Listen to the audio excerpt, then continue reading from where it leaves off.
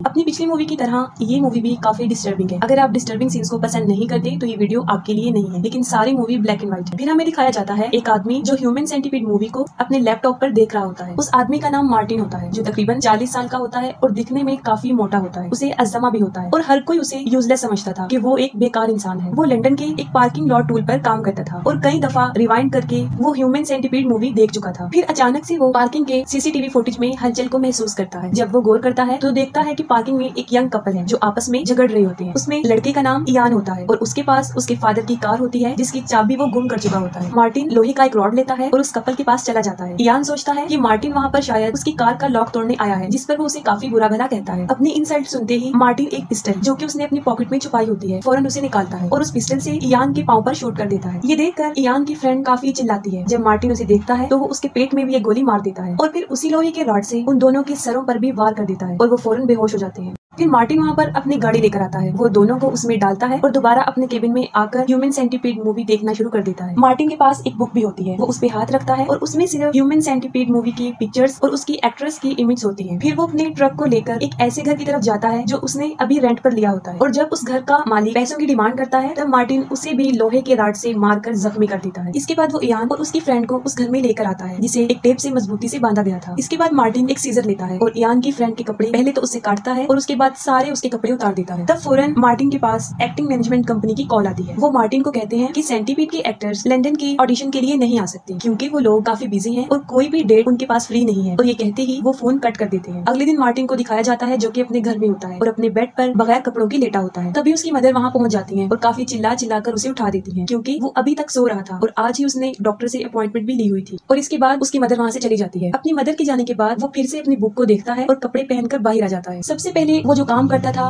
वो ये था कि उसका पेट एक सेंटीपीड था। वो सबसे पहले तो उसे फ़ीड करता था और फिर डॉक्टर के पास जाता था। बाहर मार्टिन की मदर डॉक्टर को ये बता रही होती है कि मैंने मार्टिन को अक्सर सुना है कि वो बारह लोगों की सेंटीपीड की बात करता है, जिसके जवाब में डॉक्टर कहता है कि सेंटीपीड के काटने का जो दर्द है, शायद वो मार्टिन महसूस करता है। क्योंकि जब वो छोटा था, तब उसके फादर उसके साथ सेक्सुअली अब्यूज करते थे, जिस पर चिल्ड्रन राइट्स वालों ने उसके फादर को जेल भिजवा दिया था। लेकिन इसका रिस्पॉन्सिबल मार्टिन की मदर फिर भी मार्टिन को ही समझती थी। मगर उसके डॉक्टर को भी इस बात का ज़्यादा असर नहीं था, क्योंकि वो भी मार्टिन की मेंटल इलनेस का फ़ायदा उठाकर कई बार उसे सेक्सुअली अब्यूज कर चुका था। और यही वजह थी कि मार्टिन उस डॉक्टर को भी पसंद नहीं करता था और उससे काफ़ी नफरत करता था। डॉक्टर के जाते ही मार्टिन और उसकी मदर दोनों लंच कर रही होती है। फिर उसकी मदर उसे बताती है कि वो मार्टिन की वजह से बहुत अपसेट रहती है। यही सोचकर उसने डिसाइड किया है कि वो मार्टिन और खुद को जान से मार डाले। तभी अचानक से उन लोगों के घर के ऊपर वाले फ्लोर से लाउड म्यूज़िक की आवाज़ आती है, जिससे मार्टिन की मदर को काफ़ी डिस्टर्बेंस होती है और वो छत को पीटना शुरू कर देती है और वो शोर ऊपर रहने वाले लोग सुन लेते हैं। वहाँ पर दरअसल एक अग्रेसिव बॉडी बिल्डर रहता है। वो आते ही मार्टिन को काफ़ी मारपीट करता है और फिर वहाँ से चला जाता है। मार्टिन काफ़ी जख्मी हो जाता है। इन सब के बाद भी काफ़ी मरतबा मार्टिन ह्यूमन सेंटीपीड देख चुका था और वो डॉक्टर जोसेफ की तरह ही ट्रीट करता है और उसी की तरह का लैब कोट पहनता है। फिर वो डॉक्टर जोसेफ की सर्जरी ड्राइंग को अपनी बुक में कॉपी करता है। फिर एक दिन वो अपने पार्किंग लॉट में एक कपल को किडनैप करता है, जिसकी वाइफ प्रेगनेंट होती है। उनके बाद वो दो और लड़कियों को किडनैप करता है और उसी घर में लेकर आता है, जहाँ उसने बाकी लोगों को रखा हुआ है। सबसे पहले तो वो उनके क्लॉथ्स को रिमूव करता है और उन्हें एक सीधी लाइन में नीचे लेटा देता है। इतनी हार्ड वर्किंग करने के बाद अचानक से मार्टिन को अजमा का अटैक होता है। वो अपने पंप से मेडिसिन लेता है और अपनी नॉर्मल हालत में वापस आ जाता है। तभी फ़ौरन फिर से एक्टिंग मैनेजमेंट कंपनी की कॉल आती है। और अब वो लोग कहते हैं कि सेंटीपीड मूवी की एक्टर एचली यानी ऑडिशन के लिए आने को रेडी है और वो लंदन आने वाली है। वो लोग ऐसा इसलिए करते हैं क्योंकि इसे कुछ अर्सा पहले मार्टिन उन लोगों को बता चुका होता है कि वो डायरेक्टर क्वेंटन टोरेंटो का एजेंट है। और डायरेक्टर टोरेंटो ह्यूमन सेंटीपीड के एक्टर से इतना इम्प्रेस हुए हैं कि वो उनके साथ पार्ट टू भी बनाना चाहते हैं, जिसका ऑडिशन उन्होंने लंदन में रखा था। डायरेक्टर टोरेंटिनो असल में एक फ़ेमस अमेरिकन डायरेक्टर और ये पूरी वर्ल्ड में अपनी डिस्टर्बिंग मूवी बनाने में काफ़ी मशहूर है। फिर आधी रात दिखाई जाती है, जब मार्टिन अपने घर पहुँचता है, तब वो देखता है कि उसकी मदर उसे मारने की कोशिश कर रही है। लेकिन मार्टिन अपनी मदर के इरादे समझ जाता है। मार्टिन की मदर को उसके बेड के नीचे से वो बुक मिल जाती है, जिसमें ह्यूमन सेंटीपीड की सारी डिटेल्स लिखी होती है। और उसी बुक में मार्टिन ने बारह लोगों के साथ ह्यूमन सेंटीपीड वाले ऑपरेशन का भी ज़िक्र किया था। तब उसकी माँ उसके इरादे समझ जाती है। वो काफ़ी गुस्से में आ जाती है और उस बुक को फाड़ देती है। ये देखकर मार्टिन काफ़ी अपसेट हो जाता है। फिर मार्टिन अपना लैब कोट पहनता है और अपने सेंटीपीड्स, जो की उसने पाले होते हैं, उनसे अपनी मदर को कटवाता है और फिर अपनी माँ के सर पे काफ़ी रॉड मारता है। और मौके पे ही उसकी मदर की डेथ हो जाती है। वो अपनी मदर की डेड बॉडी के साथ लंच करता है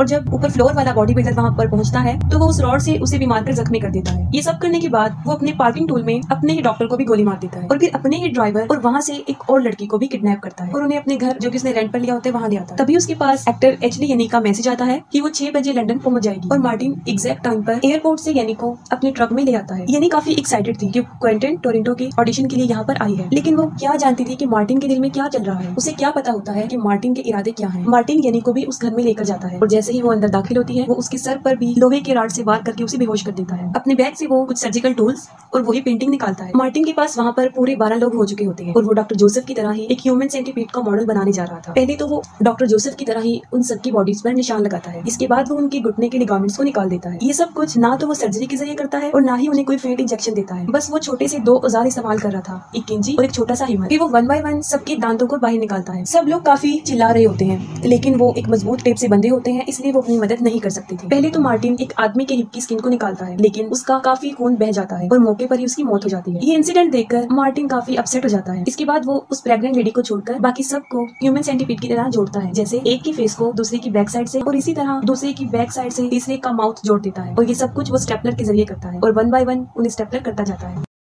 और टेप से एक दूसरे को बाँध देता है, ताकि कोई भी एक दूसरे से अलग ना हो सके। और फाइनली वो एक दूसरे को एक दूसरे के साथ जोड़कर दस लोगों का एक सेंटीपीड बना देता है। और सबसे आगे यानी थी, और वो भी डॉक्टर की तरह यानी को ही फ़ीड करवाता था। लेकिन वो नहीं खाती। फिर वो एक पाइप और एक फरन लेता है, और उसके ज़रिए यानी कि मुँह में खाना डालता है, और फ़ौरन उसके पास कॉल आती है। वो लोग कहते हैं कि सेंटीपीड के बाकी एक्टर भी मूवी की ऑडिशन के लिए आ रहे हैं। मार्टिन कॉल पर था, तब पीछे से यानी ज़ोर ज़ोर से चिल्ला रही थी, जिससे वो काफ़ी डिस्टर्ब हो गया। और वो एक कैंची लेता है, और यानी कि ज़ुबान काट देता है, और उसे काफ़ी ब्लीडिंग होती है। मार्टिन सबको लेग्जेटिव की इंजेक्शन देता है, जिससे उन्हें लूज मोशन लग जाते हैं। और एक इंजेक्शन वो कॉन्स्टिपेशन के मरीजों को देता है, जिससे की उनका पेट साफ़ हो जाए। और देखते ही देखते उन सब लोगों को मोशन लग जाते हैं। पहले तो मार्टिन इस मंजर को काफ़ी इंजॉय करता है, लेकिन ये मंजर काफ़ी डिस्टर्बिंग था, काफ़ी गंदा सीन था। और ये देखकर मार्टिन को भी वॉमिटिंग लग जाती है। तभी वो प्रेगनेंट लेडी जो सेंटीपीड का हिस्सा नहीं थी, उसे पेन होता है, वो भाग कर बाहर कार में आकर बैठ जाती है। और गाड़ी में ही उसका बच्चा हो जाता है। और अंदर मार्टिन का वो सेंटीपीड जो की एक दूसरे से अलग हो रहा था, क्योंकि वो टूट रहा था और सब लोग एक दूसरे से जुदा हो रहे थे। ये देखकर मार्टिन शरीर गुस्से में आ जाता है और वो एक एक करके सबकी गलों को काट कर उन्हें मार रहा होता है। और जब मार्टिन यानी को मारने उसके पास आता है तो वो उसकी टांगों के बीच में मारती है और उसे नीचे गिरा देती है। वो एक फनल लेती है और मार्टिन की बैक साइड पर वो उसके पाले हुए सेंटीपीड को वहाँ पर छोड़ देती है, जिससे मार्टिन बुरी तरह तड़पना शुरू कर देता है और ज़मीन पर गिर जाता है। फिर हमें मार्टिन दिखाया जाता है, जो की अपनी पार्किंग टूल में बैठ ह्यूमन सेंटीपीड मूवी देख रहा होता है। मोरल ऑफ़ द स्टोरी ये है की मार्टिन को सब लोग काफ़ी यूजलेस समझते थे, जो की उसकी मेंटल इलनेस की वजह से था। और यही वजह थी की वो डॉक्टर जोसेफ से काफ़ी इम्प्रेस हो गया था और उसके जैसा अपना सेंटीपीड बनाना चाहता था। लेकिन ये एक्सपेरिमेंट वो पूरे बारह लोगों के साथ करना चाहता था। जो कुछ भी मार्टिन ने किया, या तो वो उसकी